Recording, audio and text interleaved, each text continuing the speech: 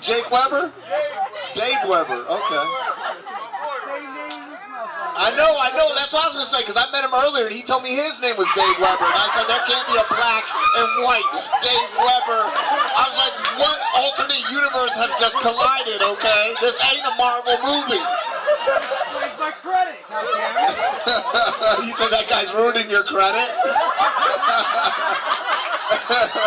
and he's like, guy's ruined my credit. He goes, that guy makes everyone think I have a small dick.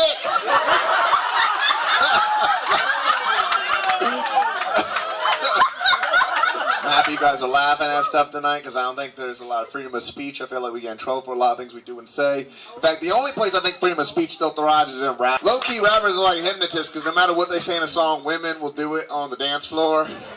They're like dropping low. They're like, I'm dropping it low. Is your name Dave Weber? Yeah.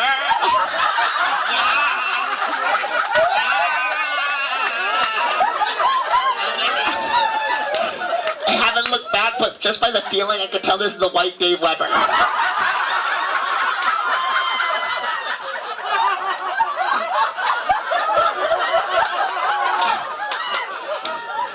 I thought I, there's a couple of Dave Webers out here. This reminds me of of if you saw Walking Dead when Negan came out. They're like, we're all Dave Weber. I'm Negan. I'm Negan.